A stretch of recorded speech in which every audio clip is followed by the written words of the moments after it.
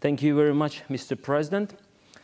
Transparency of the political party financing and integrity of the politicians are one of the most important conditions for public confidence in effective functioning of the democracy. The Greco's third round evaluation, which is based on the Committee of Ministers recommendation on transparency of the political party financing, played a pivot role in this field. Greco, in its findings, uh, demonstrated that member states still have much to do to bring their legislation in line with the recommendations of the Council of Europe.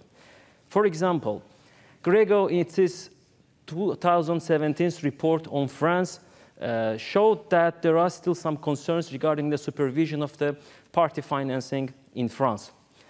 This means that even the established democracies have its weakness beside the strengths, and therefore we should try to avoid criticizing the usual suspects here and the focus on to learning the best practices from each other. Secondly, these recommendations are naturally and surely the responsibilities of the individual governments, but not only the governments. The transparency and integrity starts from us and the political parties we represent. Third point, some NGOs receive foreign funds for political purpose.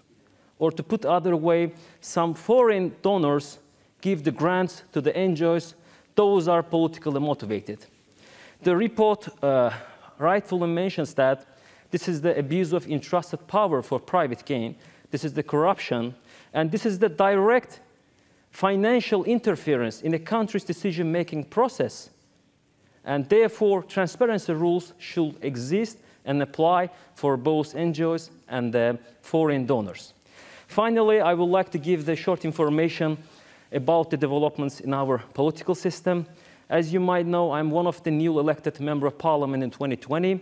And Madame Sahiba Gafarova, who was the chairwoman of the Migration Committee and the General Rapporteur for Violence Against uh, on Women, along her other positions in this assembly, elected as the president of the Azerbaijani parliament.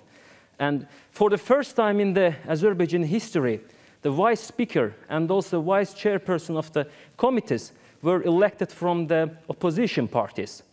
And following that, another major uh, important development was that a special unit was established in the president's office to enhance the cooperation between legislative and executive powers.